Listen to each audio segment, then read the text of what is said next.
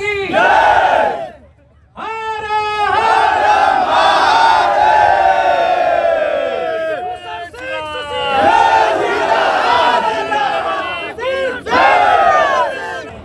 हाँ तो बोले थे तो हुकारी भरा करो।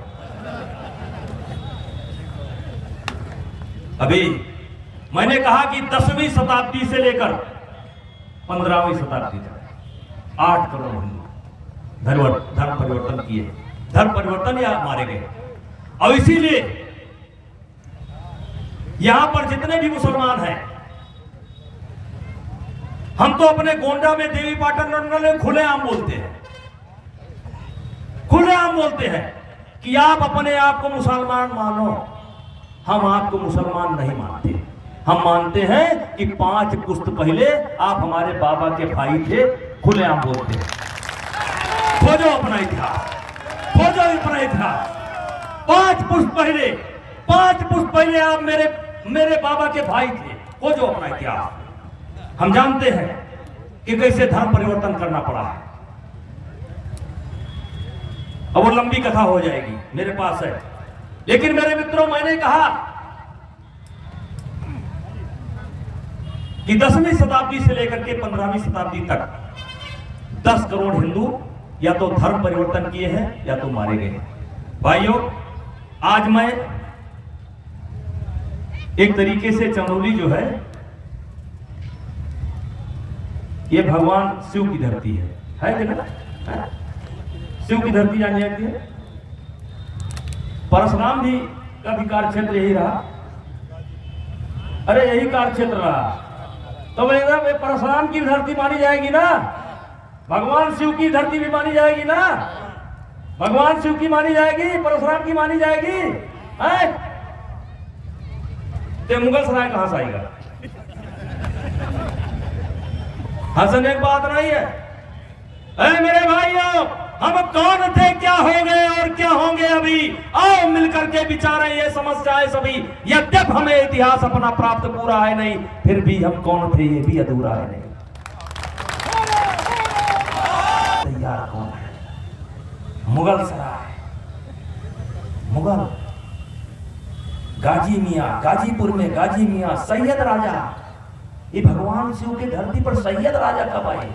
सतवे आए थे क्या? और मिर्जापुर। ये मिर्ज़ा भाई कहाँ से आए? कब आए? इलाहाबाद में इलाही कहाँ से आए?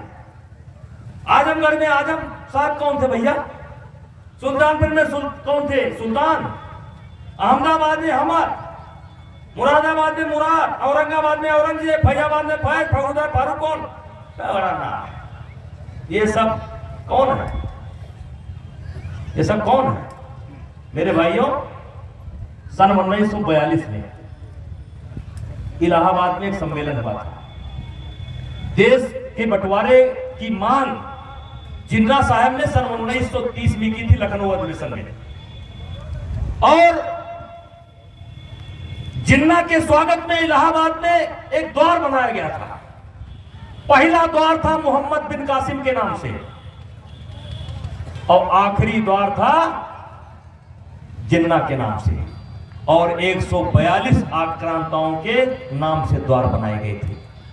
और इसीलिए मेरे भाइयों, मैं कहना चाहता हूँ कि किससे मन की बात कहूँ मैं?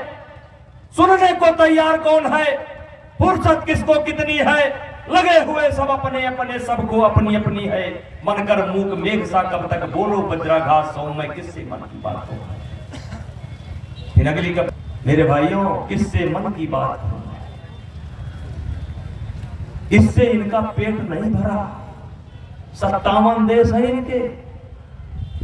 आपके एक भी नहीं आप एक करोड़ वर्ष पहले चले थे। ये 1600 वर्ष पहले चले हैं। और मेरे भाइयों, आज भी नारा लगता है। आज भी नारा लगता है। अब जल हम शर्मिंदा है, तेरे कातिल ज़िंदा है। आज भी नारा लगता है, भारत के टुकड़े होंगे, इंशाल्लाह इंशाला इंशाल्लाह! उत्तर प्रदेश में बुलडोजर बाबा की सरकार है, इसलिए ज़्यादा इंशाला मत करो। प्रदेश में बुलडोजर बाबा की सरकार है देश में मोदी की सरकार है।